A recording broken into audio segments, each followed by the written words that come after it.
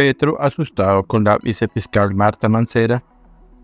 El miedo está apoderado del presidente Gustavo Petro, y es que desde el año pasado el mandatario de los colombianos pidió al fiscal general Francisco Barbosa cambiar a la vicefiscal Marta Mancera.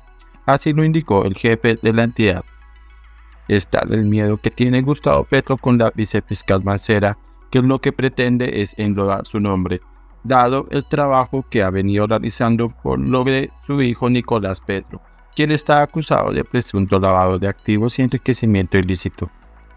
Es de recordar que el hijo mayor del presidente fue detenido tras las declaraciones de su ex esposa Daisuris Vázquez, asegurando que Nicolás Petro recibió dinero por parte de narcotraficantes para la campaña presidencial de Gustavo Petro. Relón seguido, al conocer este escándalo, el jefe de Estado salió al paso ese mismo día y aseguró que a su campaña no habían ingresado esos dineros. Siguiendo el rumbo de estas declaraciones hechas por el fiscal Francisco Arbosa en su medio nacional, dijo que el presidente tiene entre ojos a la vicefiscal por el trabajo que viene haciendo en temas judiciales y que lo podrían perjudicar.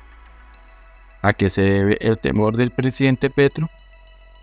De no hacerse la elección de nuevo fiscal el próximo 8 de febrero, el reemplazo de Francisco Argos a partir del 12 del mismo mes es la vicefiscal Marta Mancera, a quien le manifestó apoyo y confianza, y agregó que tiene las calidades para ejercer el cargo hasta que la Corte Suprema realice dicha elección. Un fiscal general en propiedad. Para hoy, lunes 29 de enero, está previsto de nuevo que los magistrados de la Corte Suprema de Justicia escuchen a la terna para elegir nuevo fiscal general de la Nación.